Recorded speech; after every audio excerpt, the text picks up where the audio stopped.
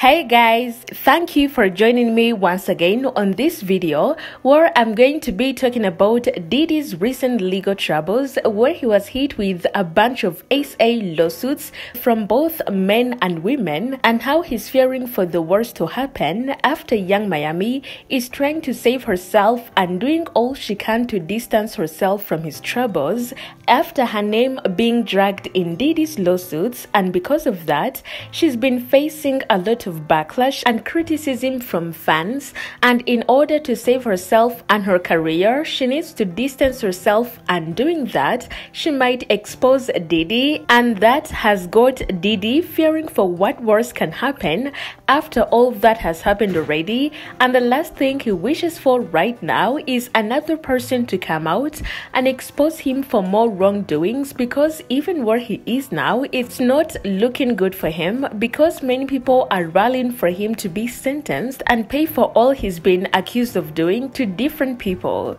So, what's up with Yung Miami and how exactly is she being dragged along with Diddy in his lawsuits? Well, don't go anywhere.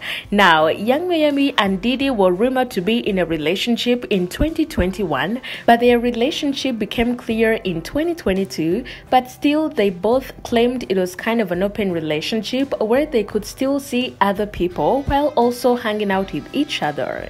So during their open relationship, they made a couple of appearances as a couple, like the BET Awards, the Met Gala, and Diddy's 53rd birthday party. During their relationship in 2023, Diddy was hit with his first lawsuit from his ex partner of 10 years, Cassie, who accused him of essaying her physical and emotional abuse. After that, Yung Miami dumped Diddy, and I think that she dumped him to try to distance herself from all the controversy that was going around because things were not looking good for Diddy, and she didn't want no parts of that. But there are other rumors that say that Yung Miami also dumped Diddy because he had cut her monthly allowance from $500,000 to $200,000, and no one knows for sure what happened between these two, but their relationship was terminated, and I give it to Miami wanting her name nowhere near Diddy's lawsuits. That's right,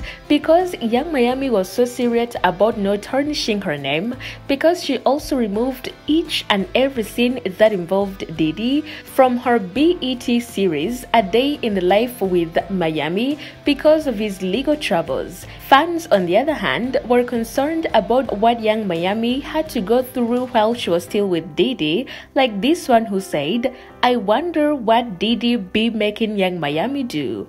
Another one said, Just imagine what Diddy got Yung Miami doing, shaking my effing head. The last one said, I wonder what Diddy makes Yung Miami do. Meanwhile, Diddy didn't catch a break because after the first lawsuit was filed, other women kept filing lawsuits against the rapper, all of them accusing him of essaying them, dragging them, and other related accusations, to which Diddy denied all of them with a statement he released on his Instagram saying that they're just looking for money. The statement read, Enough is enough. For the last couple of weeks, I've sat silently and watched people try to assassinate my character, destroy my reputation and legacy. He continued adding, sickening allegations have been made against me by individuals looking for a quick payday.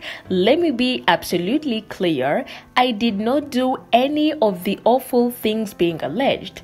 I will fight for my name, my family, and for the truth. After releasing that statement denying all the accusations, he turned off comments on his Instagram because of how much hate he was receiving from his fans and all of the people from the internet altogether.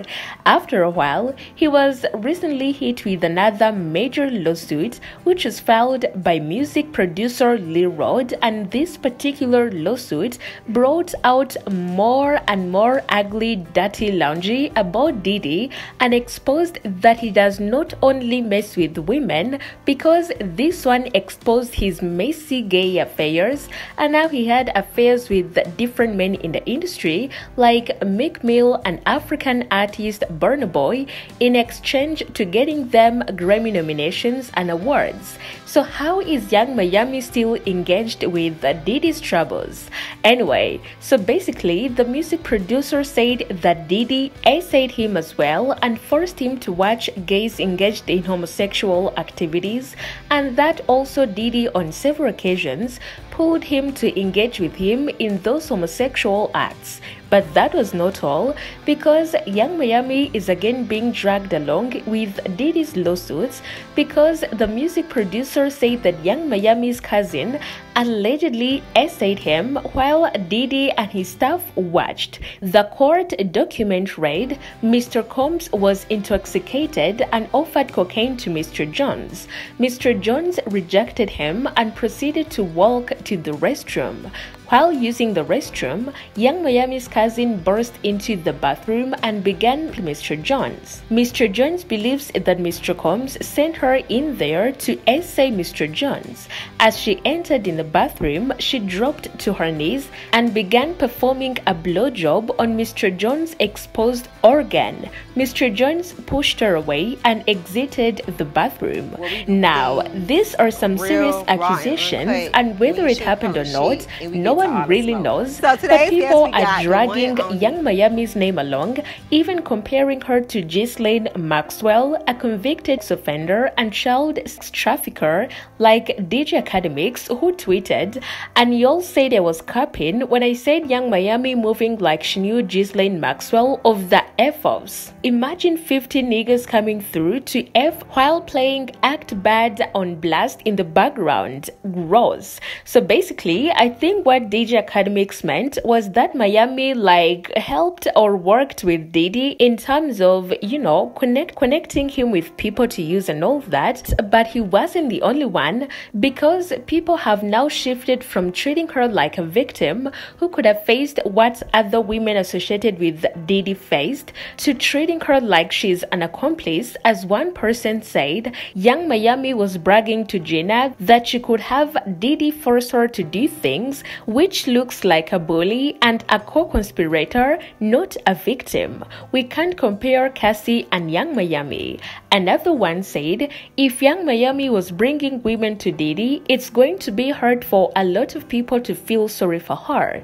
Another person said, she doesn't claim to be a victim and how she treated Gina and boasted about having a bad boy, she's nothing like Cassie to me. The last one said, Yung Miami seems like a willing participant. Now, the way I see it, people are starting to turn their backs on Yung Miami and dragging her name along Diddy's and also starting to accuse her of being an accessory in Diddy's crimes. And we have seen her try all she could to distance herself from Diddy's lawsuits, and obviously she doesn't like this one. So, in order to clear her name up, she might actually expose Diddy, you know, maybe file her own lawsuit to say what Diddy did to her her as well. Just anything to clear her name up because she has a lot to lose, including her career. And this is scaring Diddy because really, he doesn't need any more lawsuits on his name right now or even ever because it is putting his career at risk a lot. But I also want to know what you think about this and Yung Miami's alleged involvement in Diddy's crimes. Do you believe those accusations linking her to Diddy in terms of bringing him people to use? Well, tell me what you think about this and don't forget to like and subscribe to keep updated.